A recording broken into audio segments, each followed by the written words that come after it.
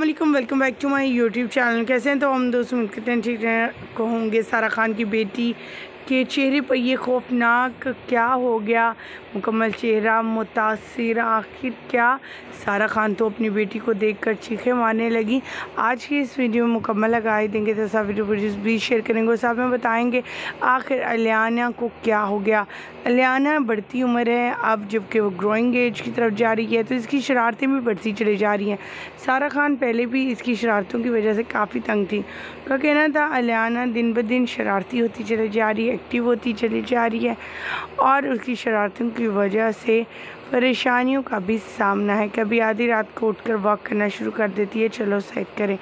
तीन रात रात के तीन बजे भी फलक और मैं उसे लेकर सड़क पर घूम रहे होते हैं। ख़वान हजरात, आज की इस वीडियो में इनकी इस चेहरे की हालत के हवाले से बात करेंगे। लेकिन उससे पहले कि हम वीडियो का आगाज़ करें, तमाम तफसीत आपके साथ शेयर करें। आप सभी से छोटी सी रिक्वेस्ट, जो लोग हमारे चैनल पर न्यू हैं, जिन्होंने अभी तक चैनल को सब्सक्राइब नहीं किया, चैनल को सब्सक्राइब कर लें। साथ में बेल आइकॉन को प्रेस कर लें, ताकि शोबी से आने वाली नई अपडेट का नोटिफिकेशन आपको सबसे पहले और बर वक्त मिल सकें। पाकिस्तानी शोबिस इंडस्ट्री से ताल्लुक़ रखने वाली मशहूर तरीन अदाकारा सारा खान, जो बहुत ही नाजुक और चंचल सी हैं, उनकी शादी के बाद अल्लाह ताला ने पहली औलाद बेटी से नवाजी, जिसका नाम उन्होंने अलियाना रखा।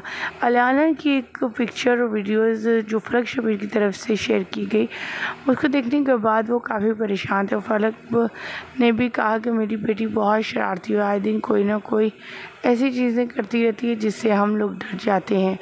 फल सारा ने भी बताया कि वो शूट से वापस आई थी और उनके हैंड बैग के अंदर मुख्तलिफ़ चीज़ें पड़ी रहती हैं, जिसमें मेकअप का सामान, jewellery, eyeliner, mascara, black pencil वगैरह शामिल हैं।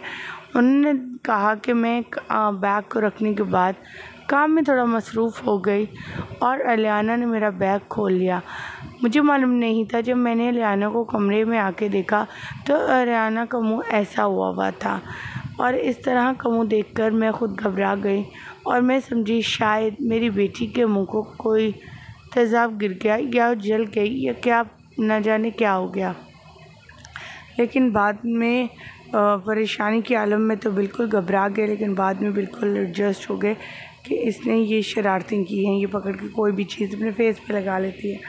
सारा खान अपनी बेटी के लिए दुआएँ करेगी कि अल्लाह ताला किसी की औलाद को भी तकलीफ़ से ना दो चार के अल्लाह ताला सबको अपने हिफ्ज़ ईमान में रखे। आमिन, मुझे दीजिएगा, इजाज़त आने के बाद।